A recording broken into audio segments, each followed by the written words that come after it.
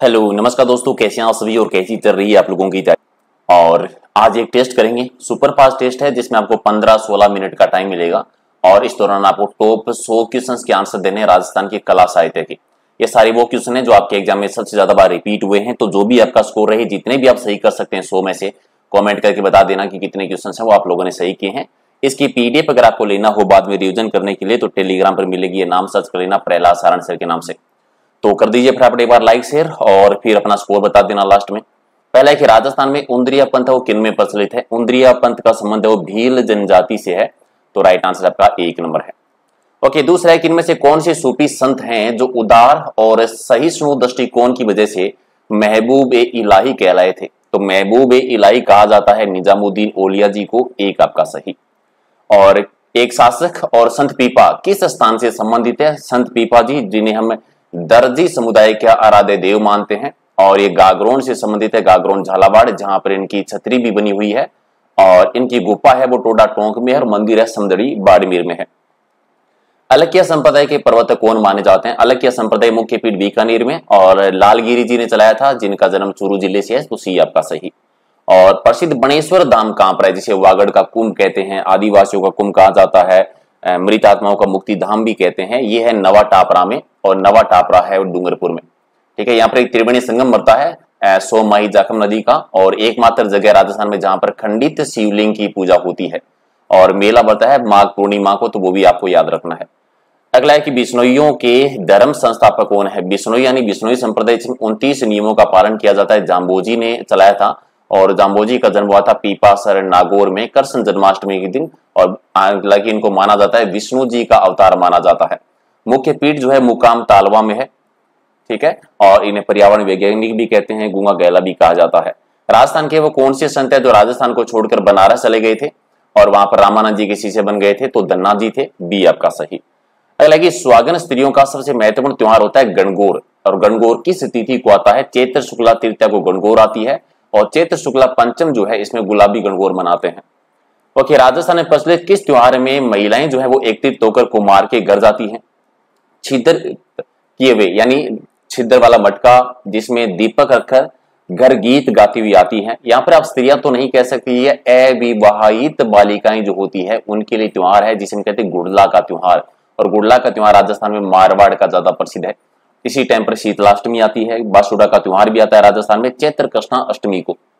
Next है कि गुलाबी गणगौर कब मनाई जाती है और कहाँ पर मनाई जाती है? तो गुलाबी गणगौर है नाथ द्वारा की प्रसिद्ध है और चैत्र शुक्ला पंचमी को और गणगौर आती है तृतीया को। ओके हरतालिका तीज के दिन है, वो किस भगवान की पूजा करते हैं? तो गौरी शंकर की पूजा की जाती है। और हनुमान जयंती के अवसर पर एक मेला बढ़ता है, मेहंदीपुर बालाजी का मेला। कहाँ पर बढ़ता है? जहाँ पर बालाजी की बाल की पूजा होती है, दोसा में बढ़ता है। और अगला है कि बोहरा समाज का उर्स राजस्थान में कहाँ पर बढ़ता है? गलिया कोट में बढ़ता है। सी आपका सही। राजस्थान के किस मेले को लखी मेला कहा जाता है? लखी मेले के रूप में जाना जाता है। लखी मेला कहते हैं केला देवी के मेले को, जो कि बढ़ता है क्रोली ज़िले में। क्रोली के यादवों की कुलदेवी रही है। यहाँ पर लांगुरिया गीत होता है, लांगुरिया नृत्य होता है इस टाइम पर, और ये मेला वर्ष में दो बार बढ़ता है। कब? नवरात्रा के टाइम पर बढ़ता है। अगला है कि अजमेर में प्रतिवर्ष उर्स का मेला किस समय बढ़ता है? अजमेर में बढ़ता है, पहली रजब से लेकर छह रजब तक बढ़ता है, जहाँ पर सबसे बड़ा उर्स जो है अजमेर में बढ़ता है, और अजमेर के बाद में दूसरा सबसे बड़ा उर्स जो है, वो राजस्थान के नागौर में बढ़ता है। ओके, किस प्रथा के अनुसार पत्नी अपने पति को छोड़कर किसी अन्य पुरुष के साथ रह सकती है? तो नाता प्रथा के अकॉर्डिंग ऐसा होता है।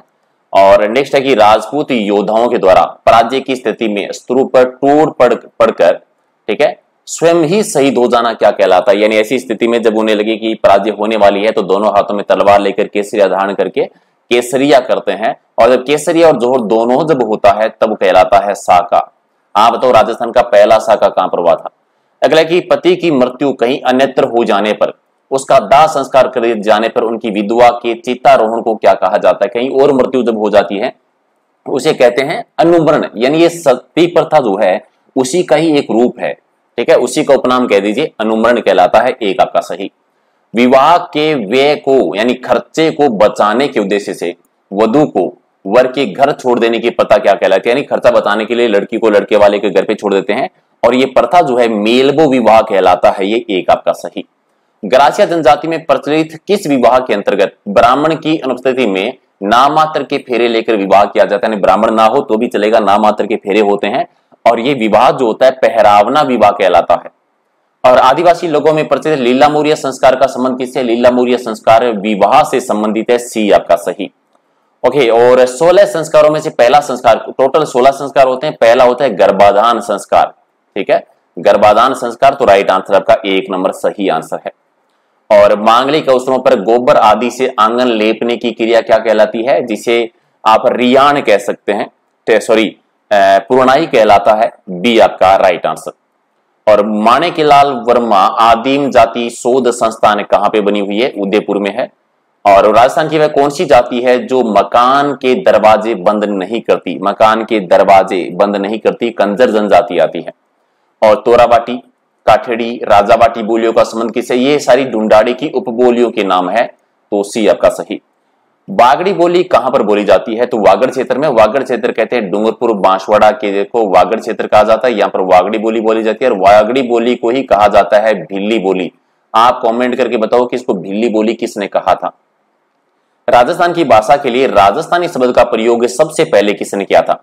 सबसे पहले इसका प्रयोग किया था जॉर्ज अब्राहम गिरियस ने, सी आपका सही। मेवाती बोली का संबंध किस ज़िले से? मेवाती बोली मेवात क्षेत्र, यानी अलवर, भरतपुर वाले एरिया में बोली जाती है। और डूंगरपुर में बोले जाने वाली बोली कौन सी है? डूंगरपुर में वागड़ी बोली बोलते हैं, बी आपका सही। तोरावाटी क्या है? तोरावाटी ढूंढाड़ी बोली का नाम भी है और सीकर में एक नदी बहती है, कांतली नदी। खंडेला की पहाड़ियों से निकलती है, इसका प्रवाह क्षेत्र भी तोरावाटी कहलाता है तो दोनों याद रखिए। और खेड़ाड़ी बोली जो है, वो किस क्षेत्र में बोली जाती है? तो टोंक और भीलवाड़ा में, यानी शाहपुरा से जहाजपुर वाला जो एरिया है, इस भूभाग में बोली जाती है, बी आपका सही। निम्नलिखित संतों में से किसने अपने लेखन में मेवाती बोली का प्रयोग नहीं किया? मेवाती बोली, मेवात चित्र अलवर भरतपुर में। लालदास जी ने किया चंद्रदास जी ने किया सहजोबाई जी ने भी किया है। सुंदरदास जी ने नहीं किया, सुंदरदास जी ने डुंडाड़ी बोली का प्रयोग किया है। दादू दयाल जी और उनके शिष्यों ने। डिंगल और पिंगल क्या है? डिंगल और पिंगल राजस्थानी भाषा की दो शैलियाँ है। ठीक है, डिंगल है, ये पश्चिमी राजस्थान का साहित्य रूप है, और पिंगल जो है, ये पूर्वी राजस्थान का साहित्य रूप आता है। अगला कि राजस्थान के निम्नलिखित में से किस शहर में होली के दौरान रम्मत का आयोजन किया जाता है? रम्मत प्रसिद्ध है बीकानेर की।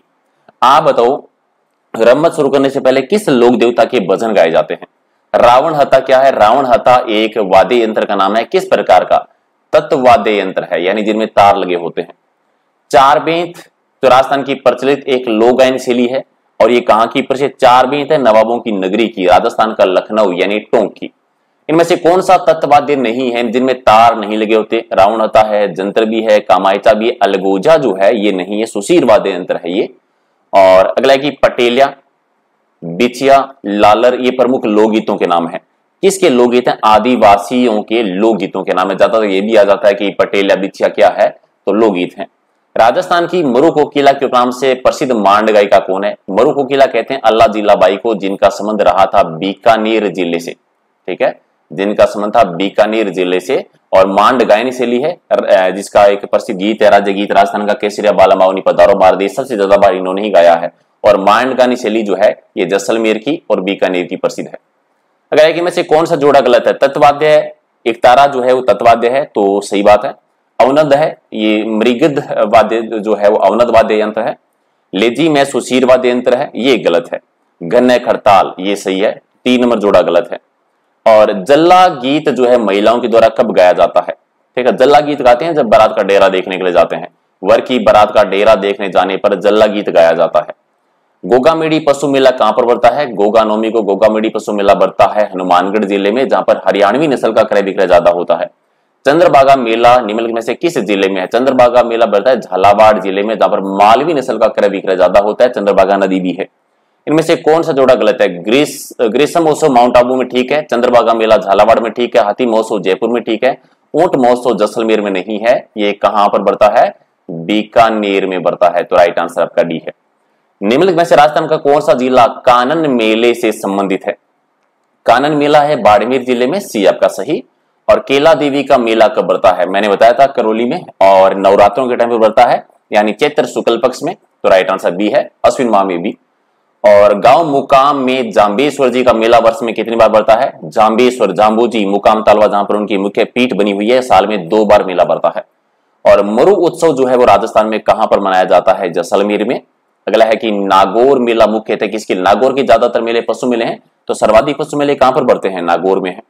अगले, किस शासन के शासन काल में कोटा में दशहरे मेला लगना शुरू हुआ था? एक तो ये कि दशहरा मेला राजस्थान में कहाँ का प्रसिद्ध है? कोटा का।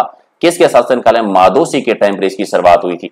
राम सनी संप्रदाय अपना फूलडोल उत्सव किस स्थान पर मनाता है? देखो, फूलडोल उत्सव का संबंध किस संप्रदाय से राम सनी संप्रदाय, जो कि सापिरा में है, जो कि भीलवाड़ा ज़िले में आता है। राम सनी संप्रदाय की मुख्य पीठ भी है शुरुआत की थी रामचरण जी ने। और मुंशाला महावीर जी का मंदिर राजस्थान में कहाँ पर बना हुआ है? तो घानेराव में है, एक आपका सही है। नेक्स्ट है कि इनमें से पर्यटन स्थल और जिला का जोड़ा है, गलत की पहचान करनी है। विराट माता का मेला बढ़ता है बाड़मेर में तो ठीक है। बांकर माता गढ़ मंदिर जोधपुर, ये गलत है। खाम खां के तीन दरवाजे अजमेर ठीक है। बूढ़ा तीत का सूर्य मंदिर कोटा में ये भी ठीक है तो बी हो जाएगा आपका गलत। बाला किला राजस्थान में कहाँ पर है बाला किला अलवर में, यानी बाला किला जिसे कुंवारा किला भी कहते हैं, जिस पर किसी ने आक्रमण नहीं किया हो। अगला है कि कटारगढ़ कटारगढ़ जो है, ये राजस्थान के किस किले का निवास है? कटारगढ़ जिसे मेवाड़ की आँख कहते हैं कुंबलगढ़ किले में है कुंबलगढ़ है राजसमंद में। और मूसी महारानी की छतरी है वो राजस्थान में कहाँ पर है? तो ये अलवर ज़िले में बनी हुई है। अगला क्वेश्चन आपका, कि विश्व का सबसे बड़ा चांदी का पात्र कहाँ पे रखा हुआ है? विश्व का सबसे बड़ा चांदी का पात्र कहाँ पे? सिटी प्लेस में है। और सिटी प्लेस राजस्थान में जयपुर में भी है, उदयपुर में भी है। तो जयपुर वाले सिटी प्लेस की बात है तो राइट आंसर आपका हो जाएगा, एक आपका सही। और महाराणा जगत सिंह के द्वारा सत्रहवीं शताब्दी में निर्मित जग निवास को किस होटल में परिवर्तित कर दिया है? पिछोला झील में है ये। ठीक है? अब इसको लेक प्लेस होटल में तो राइट आंसर डी है जग निवास और जग मंदिर पिछोला झील उदयपुर में। और राजस्थान का अमरनाथ किसे कहा जाता है? अमरनाथ कहते हैं परशुराम महादेव स्थल, जो कि सादड़ी में है। सादड़ी कहाँ पर है? कमेंट करके आप लोग ज़रूर बता देना। और बंसी वाले का मंदिर राजस्थान के किस ज़िले में आता है? तो नागौर में, धातु नगरी में। और थल्ली है वो किस क्षेत्र की बोली है? मारवाड़ी की उपबोली है, जो कि बीकानेर, जैसलमेर वाले क्षेत्र में बोली जाती है। और जयपुर टकसाल की स्थापना किसके टाइम पर हुई थी? तो स्वाई जैसी सेकंड के टाइम पर। नेक्स्ट है कि सरस्वती कंठावर्ण ग्रंथ की रचयिता कौन है? सरस्वती कंठावर्ण जो है, ये परमार राजा भोज। तो राइट आंसर आपका बी है। जैसलमेर राज्य में सबसे पहले स्वतंत्र टकसाल की स्थापना किसके शासन काल में की गई थी? जैसलमेर में सबसे पहले हुई थी सबल सी के टाइम पर। और डब्बू पैसा है वो राजस्थान में कहाँ पर चलता था? डब्बू चलता था जोधपुर रियासत में। नेक्स्ट की द्वितीय शंकराचार्य, दूसरा शंकराचार्य किसे कहा जाता है? तो संत रजब जी को कहते हैं, जो आजीवन दुल्ले के बेस में रहे थे। किन के शिष्य थे कमेंट करके बता देना। अमर शाही सिक्का राजस्थान की किस रियासत में चलता था? ठीक है? अमर शाही सिक्का चलता था जसलवी रियासत में। और अकबर के खुश होकर गागरों का किला किसे दिया था? गागरों का किला दिया था पृथ्वी राज, राठौड़, पीथल जिन्हें कहते हैं, बीकानेर के हैं। यहीं पर उन्होंने ग्रंथ लिखा था वेली कृष्ण रुक्मणी अगला है कि संगमर की मूर्तियों का निर्माण कहाँ पर किया जाता है? तो जयपुर की मूर्तियाँ ज़्यादा प्रसिद्ध है और वैसे संगमर प्रसिद्ध है मकराना का। राजस्थान में निर्यात संवर्धन के लिए महत्वपूर्ण संस्था कौन सी है? जो निर्यात संवर्धन की सबसे महत्वपूर्ण संस्था आती है राजसिको यानी राइट आंसर आपका बी हो जाएगा, सही आंसर और नेक्स्ट क्वेश्चन आपका, कि मारवाड़ राज्य के राजवी होते थे। तो मारवाड़ राज्य के जो राजवी होते थे, वो कौन होते थे? ये शाही परिवार के सदस्य होते थे। नेक्स्ट है कि रियासती संस्थान में लाटा शब्द प्रयुक्त होता था। लाटा क्या है? लाटा शब्द यूज़ किया जाता था खलियानों के लिए। ठीक है, लाटा कुंता यानी फ़सल पे लिए जाने वाले कर के नाम थे थी। जयपुर राज्य में प्रथम शासक जिन्होंने सिक्कों पर अपना नाम लिखवाया था, और सबसे पहले नाम लिखवाया था स्वाई रामसी सेकंड, जो अठारह की क्रांति के टाइम पर भी थे। पखाल क्या होता है? राजस्थान में पखाल किसे कहते हैं? तो रेगिस्तान क्षेत्र में पानी लाने के लिए प्रयुक्त एक मशक होता है, जिसे पखाल कहा जाता है, बी आपका सही। और सोलह सूत्र का संबंध है, वो किससे? सोलह सूत्र जो है, ज्यामिति से संबंधित है, डी आपका सही। कानरदे प्रबंध का संबंध कानरदे प्रबंध एक ग्रंथ है जो कि पदनाम जी ने लिखा था, जालोर से संबंधित है, और जालोर का 1311 के साक्य की जानकारी इसी से मिलती है। आदिवरा सिक्का किसने चलाया था? आदिवरा सिक्का किसके द्वारा चलाया गया था? गुजर प्रतिहार शासकों के द्वारा। और मिहिर भोज भोज प्रथम आपको याद होंगे, जिनकी उपाधि भी आदिवरा रही है। चौहान नरेशों में किस रानी ने अपने सिक्के चलाए थे? तो सोमल देवी ने चलाए थे सिक्के जो कि अजय राज की पत्नी थी। और अगला है कि कसरेलम नाम किसका है? कसरेलम नाम जो है, ये है मौलाना अब्दुल कलाम आज़ाद अरबी फारसी शोध संस्थान, जो कि कहाँ पर है? टोंक ज़िले का है। और जयपुर में निखत निधियों के संग्रह में सर्वाधिक और सबसे कम सिक्के है, वो किसकी उपलब्ध है? सर्वाधिक है और प्रताप सिक्के हैं। और कम है वो स्वयं मानसी के हैं, यानी बी आपका सही। और अगला है कि इसराना पहाड़ियाँ राजस्थान में कहाँ पे है? तो ये जालोर वाले ज़िले में है। अगला है कि अविका शास्त्र और अविकालीन नाम किसके हैं? अविका शास्त्र और अविकालीन जो है, ये भेड़ की दो नस्लों के नाम है। और नेक्स्ट है कि जालोर ज़िले की सबसे ऊँची पर्वत चोटी कौन सी है? तो सबसे ऊँची है जसदपुरा की पहाड़ियाँ, एक आपका सही।